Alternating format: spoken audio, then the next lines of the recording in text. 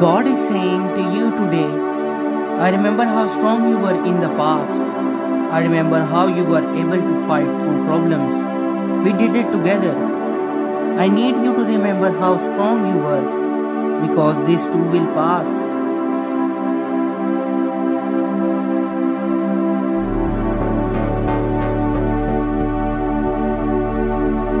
Don't give up. I am strengthening you in areas that you cannot even see right now.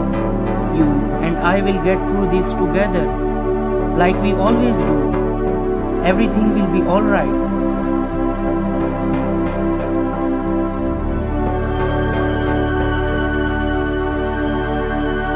This is a season where God will amaze you with His goodness and favor.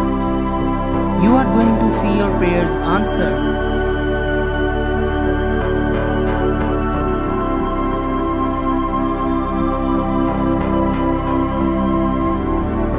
Type thank you God if you believe and don't forget to subscribe my channel for daily God messages.